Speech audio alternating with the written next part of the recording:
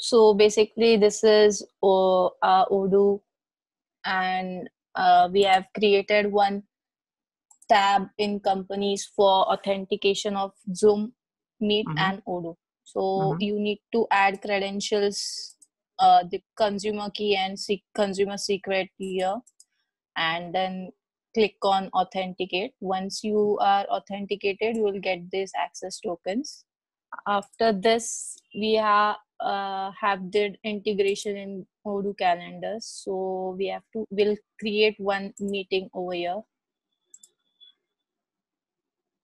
So let's give some 10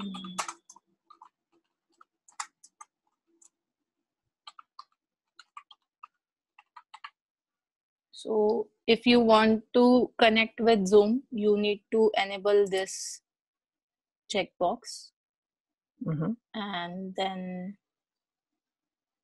now i'm giving the time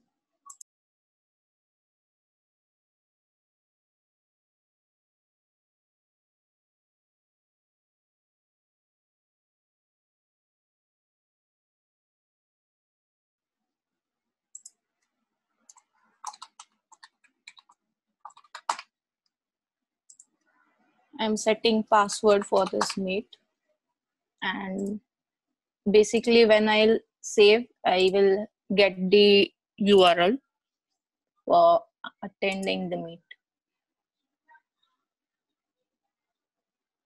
So the meeting is created. We can see over here.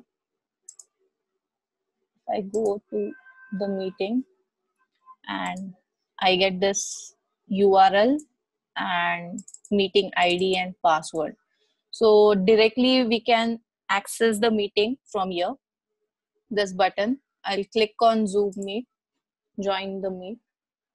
So this will redirect us to the zoom meet page and then i can open it. And this will say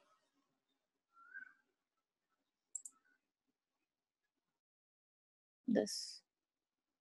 That's it